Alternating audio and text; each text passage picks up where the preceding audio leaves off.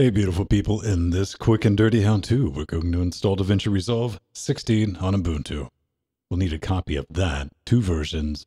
Grab the light or the Studio if you have about 300 wet stinky caches to get rid of. And we're going to need Make Resolve Deb. Just uh, make sure you grab the version for 16 not B1-1. And drop those in a folder, get them extracted. You're going to end up with the .sh and the .run. Let's get a terminal open and take a look. First, let's run make resolve deb and see how that is going to work out. It's going to ask, do you want to install the studio version or the light version? Since we're using the free version, we'll use light. Now, this is the one dependency you will have to get installed. xorriso should be in a repository. So let's get that done with apt install xorriso.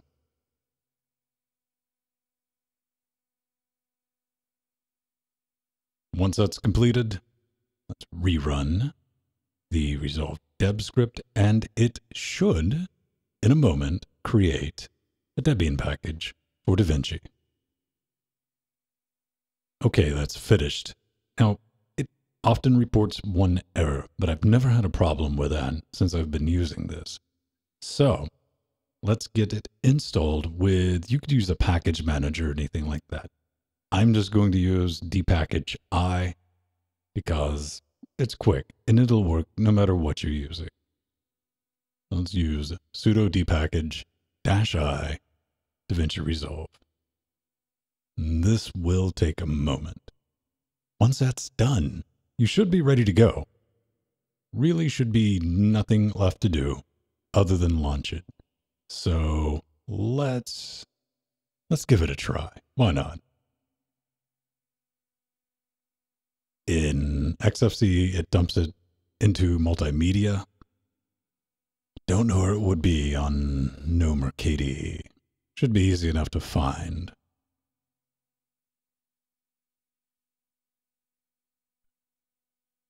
I have the LGC Weekly project that I've been playing around with. I've only been using this for about a day.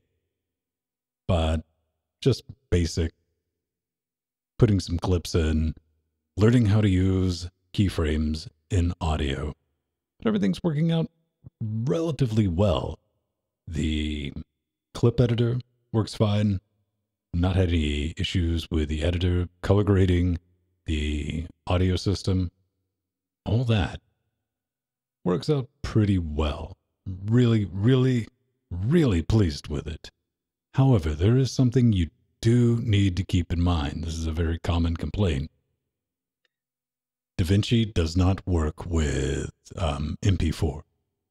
So if you have a MPEG 4 file, you're going to have to convert that out to like ProRes or what I've done with DNX HD before you can import it into DaVinci and work with it. But once you do that, Bob is in fact your uncle, and you're off to the races, making happy, fun, cool things. All right, that's it.